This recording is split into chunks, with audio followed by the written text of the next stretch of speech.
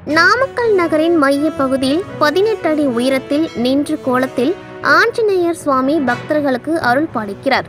இக்கோவிலில் தமிழ் மாத முதல் ஞாயிற்றுக்கிழமை அனுமன் ஜெயந்தி தவிர இதர நாட்களில் கட்டளைத்தாரர்கள் மூலம் சுவாமிக்கு சிறப்பு அபிஷேகம் செய்யப்படும். தினமும் காலை ஒன்பது மணியளவில் வடை மாலை சாத்தும்படியும் பதினோரு மணிக்கு பிறகு நல்லெண்ணெய் சீயக்காய் தூள் ஆயிரத்தெட்டு லிட்டர் பால் தயிர் மஞ்சள் சந்தனம் பஞ்சாமிர்தம் போன்றவற்றால் அபிஷேகமும் நடைபெறும். இந்த அபிஷேகத்தின் போது சுவாமிக்கு முன்பாக கட்டளைத்தாரர்கள் அமர வைக்கப்பட்டு நடைபெறும். இதற்கு ஒருவர் ரூபாய் ஆறாயிரம் கட்டணமாக செலுத்த வேண்டும். கட்டணம் செலுத்தியவருடன் குடும்பத்தினர் ஐந்து பேர் வரை அபிஷேகத்தை அருகிலிருந்து காண அனுமதி உண்டு. ஐந்து கட்டளைத்தாரர்களை ஒருங்கிணைத்து இந்த அபிஷேகமானது நடைபெறும்.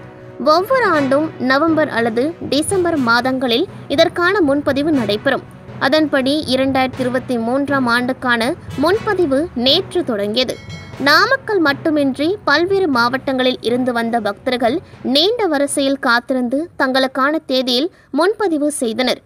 டிஜிட்டலில் பணம் செலுத்தும் வசதி உள்ளதால் பக்தர்கள் எளிதாக அபிஷேக முன்பதிவை செய்தனர்.